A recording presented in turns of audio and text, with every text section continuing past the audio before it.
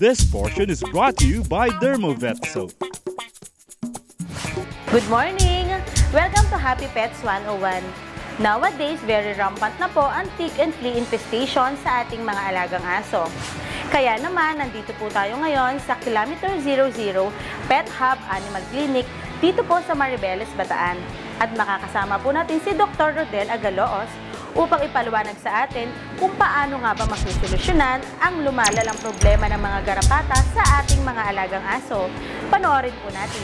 Hello viewers, I'm Dr. Rodel N. Agalos, a resident veterinarian of Kilometer 00 Pet Hub. I want to give you a short uh, description regarding the common ectoparasites of dogs and cats. First, the fleas. Fleas serves as the vector for the transmission of tapeworm infection.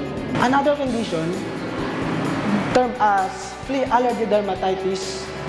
Uh, this is acquired by flea bites or coming from the flea saliva which can cause an irritation and uh, continuous itchiness on the house. The average lifespan of a flea is 100 days to complete their life cycle. We will go on to the discussion of ticks. Ticks are external parasites of dogs which sucks blood to the host which is essential for their reproduction. Ticks will lay more than 1,000 eggs and then eventually die. And the average lifespan of ticks is 3 years. To diagnose your pets if there's a presence of ticks and fleas, we can see them by our naked eyes.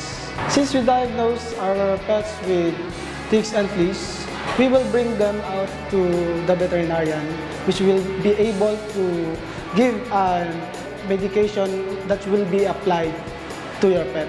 Commonly, drugs are available against ticks and fleas are injectables, spot-on, and powder application.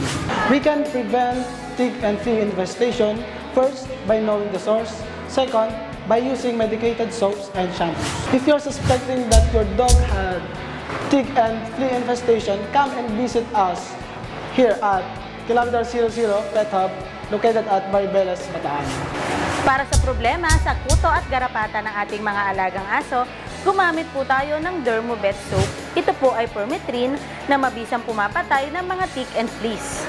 Ibabad lamang po ito ng 5 minutes bago ito banlawan. Gamitin po ito isang beses sa isang linggo. Because here at Happy Pets, we're not just giving you the right grooming but also the proper care and proper medicine. Once again, this is Doc Angela